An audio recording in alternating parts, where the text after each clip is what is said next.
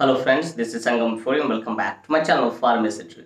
Friends, in this video I'm going to talk about treatment of hepatitis B. कि hepatitis B का treatment क्या होता है इस बारे में हम लोग बात करने जा रहे हैं इस वीडियो में so friends without wasting any more time we should start the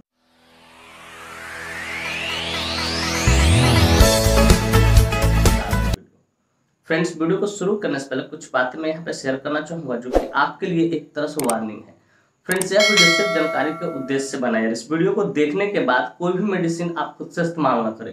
कोई भी ट्रीटमेंट आप घर पे इम्प्लीमेंट ना करें।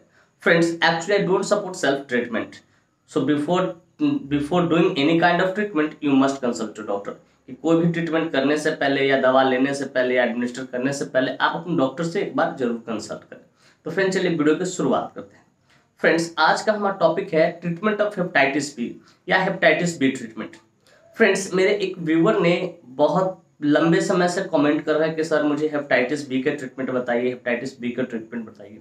तो मैं स्पेशल थैंक्स कहना चाहूँगा उस व्यूवर्स को जिन्होंने मुझे इस लायक समझा कि कमेंट किया कि सर इस पर वीडियो बना दीजिए। और मैं डेडिकेट करता हूँ उस व्यूवर्स को और तमाम और सारे व्यूवर्स को जो हमारे वीडियो को देखते हैं, जो अपनी जानकारी को इंक्रीज करते हैं। तो फ्रेंड्स चलिए अब वीडियो की शुरुआत करते हैं। Friends treatment of hepatitis B समझते हैं, पहले होता क्या? तो सबसे पहले टर्म्स आता है इसमें हेपेटाइटिस। तो पहले समझते हैं हेपेटाइटिस होता क्या है, उसके बाद हेपेटाइटिस बी पे हम लोग चर्चा करेंगे।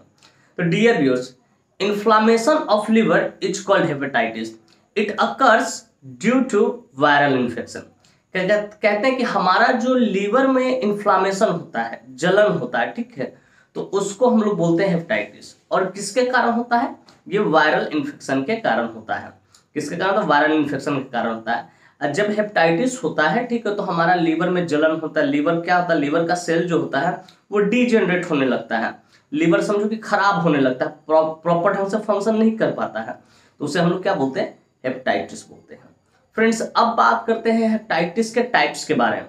फ्रेंड्स बेसिकली हेपेटाइटिस को तो A B C D E तक टाइप्स होते हैं, ठीक है? लेकिन यहाँ जो बेसिकली जो मेन है, जिस बारे में मैं चर्चा करना चाह रहा हूँ वो है हेपेटाइटिस बी तो पहले समझते हैं बी होता कैसे है?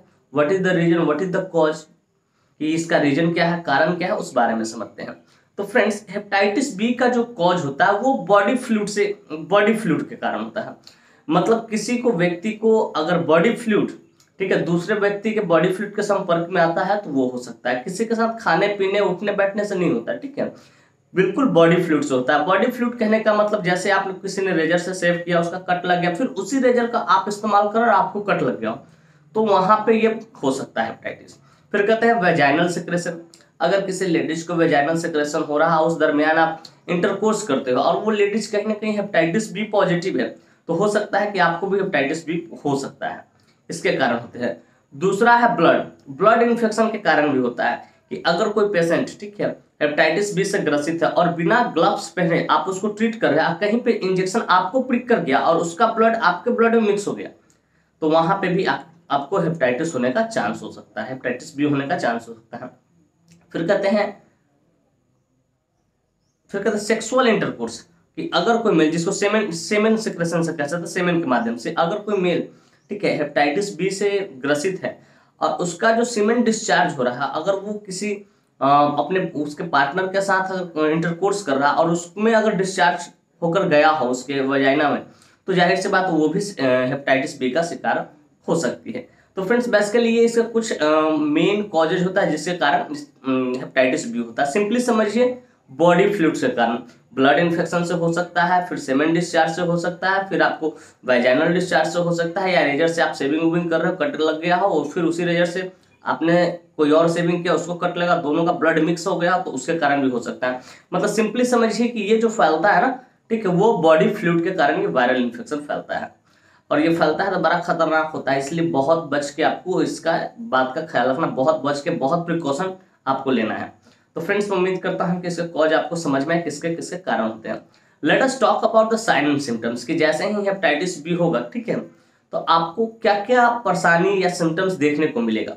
तो फ्रेंड्स नंबर वन है लीवर इन्फ्लामेशन आपके लीवर के पास हमेशा लगेगा जलन हो रहा है. क्या हो रहा है? जलन हो रहा है. जो लीवर होगा, उसमें लगेगा हमेशा जलन हो रहा है. फिर कहता है लॉस ऑफ़ एपेटाइट आपकी जो भूख की क्षमता होगी, ठीक है, वो क्या होगी? खत्म हो जाएगी.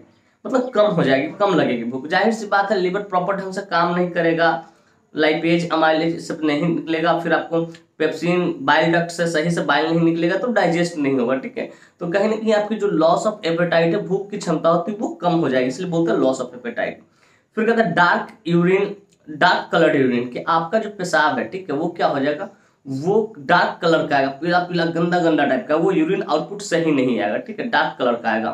फिर कहते हैं एल्लोइस स्किन कि आपका जो स्किन है, ठीक है वो पूरा येल्लो हो जाएगा ऑलमोस्ट फिर कहते हैं एल्लोइस यूरिन कि आपका जो पेशाब है ठीक है यूरिन है वो भी पीला पीला हो जाएगा। फिर कहते हैं वेट लॉस हो सके आपका वेट भी धीरे धीरे क्या हो जाएगा कम हो जाएगा और टायर्डनेस आपको थकान टाइप का फील होगा। तो फ्रेंड्स ये कुछ इसके क्या है? आ, ये कुछ इसके साइन सिम्टम्स है। कि इस साइन सिम्टम के माध्यम से आप पकड़ सकते हो कि ये ऐसा डिज़ीज़ है जिसमें हमको लग रहा है कि हेपेटाइटिस बी हो गया है। लेकिन इसे और शानदार तरीके से कैच करने के लिए, पकड़ने के लिए कैसे पता चले हेपेटाइटिस बी है?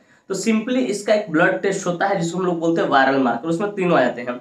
एच भी आ जाते हैं हेपेटाइटिस सी भी आते हैं और हेपेटाइटिस बी भी आते हैं, ठीक है? एच बी एस एजी जिसको बोलते हैं। तो हेपेटाइटिस बी का पता करने के लिए सबसे बढ़िया है कि देखिए साइनम सिम्टम्स तो ऑलमोस्ट सब बीमारी में ठीक होता है। अगर जॉन्डिस भी रहेगा तो आपको ऐसा सिम्टम्स देखने को मिलेगा। तो इसलिए आप एक इन्वेस्टिगेशन करवाइए। H B S A G या वायरल मार्कर करवा लीजिए। अगर उसमें H B S A G positive है तो समझिए कि हेपेटाइटिस बी है। तो फ्रेंड्स मैं उम्मीद करता हूँ कि ये बातें समझ में आ गया कैसे, कौन सा इन्वेस्टिगेशन कराएँगे जिससे हमें पता चल जाए कि हेपेटाइटिस बी है।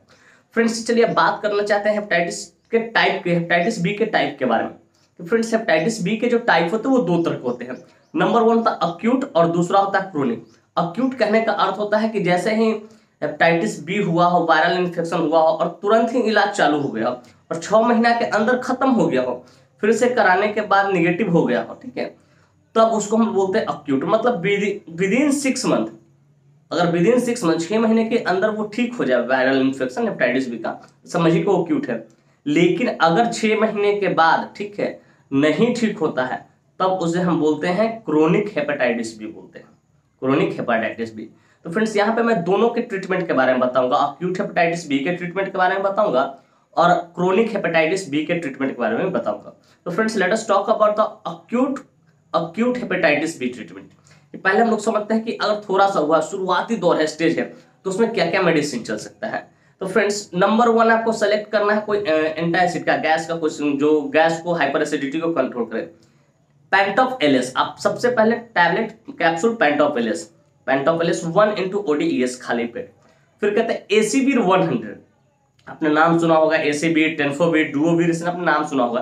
तो one hundred one into one into one into B D one into B D ये लगभग तीन महीना, चार महीना, पाँच महीने तक चलते हैं, ठीक है? बीच बीच में टेस्ट होते रहेगा। इलेक्ट्रिक यहाँ पे बीच बीच में टेस्ट होते रहेगा वायरल मार्कर का टेस्ट होते रहेगा।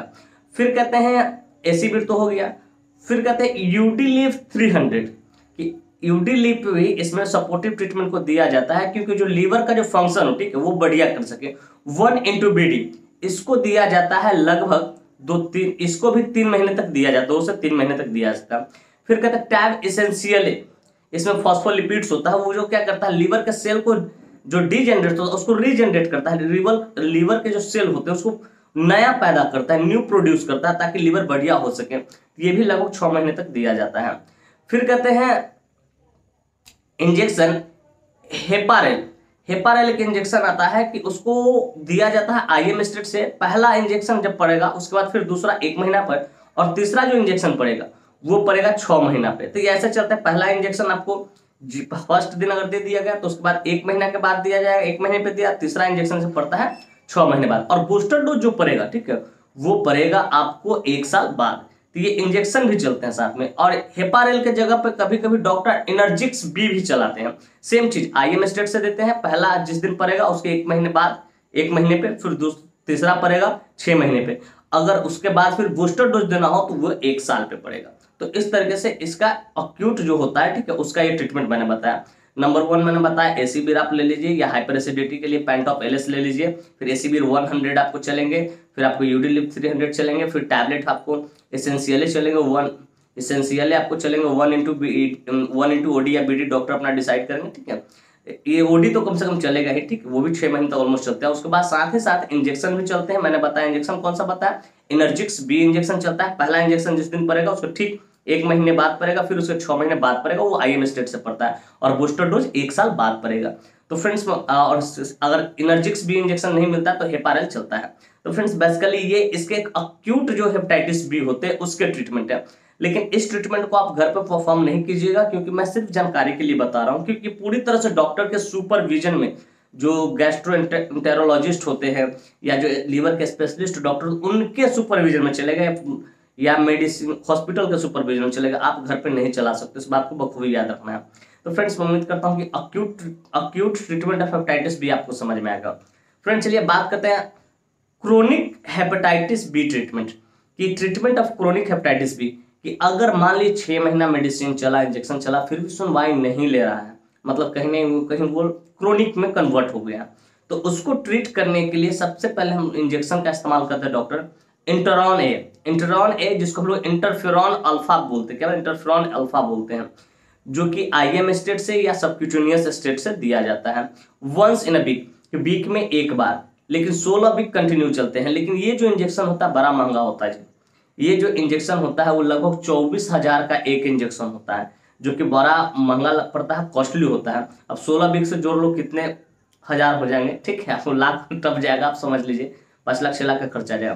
तो क्रोनिक जब होता है, ठीक है, अगर हेपेटाइटिस बी क्रोनिक हो गया तो वहाँ पे इंट्रॉन इंट्रॉन अल्फ़ा ए, ठीक है, इंटरॉन अल्फ़ा या इंटरफेरॉन अल्फ़ा अल्फ़ा बोलते हैं, इंटरॉन अल्फ़ा बोलते हैं, ठीक है, और ये चलता है वन इंटू वीकली की एक रोज सप्ताह में एक इंजेक्शन चलता है आई एम स्टेट से सबक्यूटेनियस स्टेट से साथ में चलता है tab lamivudine, one into OD one into OD continue one year तक चलता है।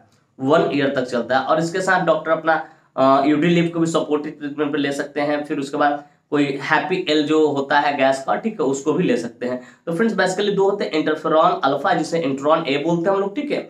उसको डॉक्टर लेते हैं सप्ताह में एक एम्पुल देने के लिए बोलते हैं, ठीक है? वो आई एम स्टेट से या सबक्यूटेनियस स्टेट से, लेकिन सोलह वीक कंटिन्यू चलता है। ट्वेंटी फोर थाउज़ेंड का एक इंजेक्शन होता है, जो कि बहुत ज़्यादा कॉस्टली होता है, बहुत ज़्यादा कॉस्टली होता है। और साथ में लैमोबुडीन चलता है।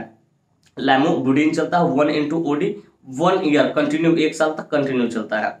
और बीच बीच में तो टेस्ट होते रहते हैं इसका, ठीक है। तो फ्रेंड्स मैं उम्मीद करता हूँ कि इसके क्रोनिक ट्रीटमेंट भी आपको अच्छे से समझ में हेपेटाइटिस बी का क्रोनिक ट्रीटमेंट क्या होता है।